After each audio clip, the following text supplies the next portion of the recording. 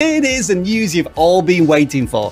YouTube is lowering the monetization requirements, and here are the deets. To qualify and apply for the YouTube Partner Program, you now need 500 subscribers and three valid public uploads in the last 90 days, and then 3,000 public watch hours in the last year, or 3 million YouTube Shorts views in 90 days. This will unlock the fan funding monetization opportunities such as super thanks, super chats, super stickers, memberships, and shopping. It's quite a lot. But to be clear, it does not unlock ad revenue. That's earning dollars from views on your videos. The requirements for this remain the same 1,000 subscribers and then either 4,000 watch hours or 10 million YouTube Shorts views. So, all of this means that you will get into the YouTube Partner Program earlier, but you're still going to have to wait a little bit longer to turn on those ads. YouTube are gradually rolling out these updates to all countries, so keep an eye out for updates. But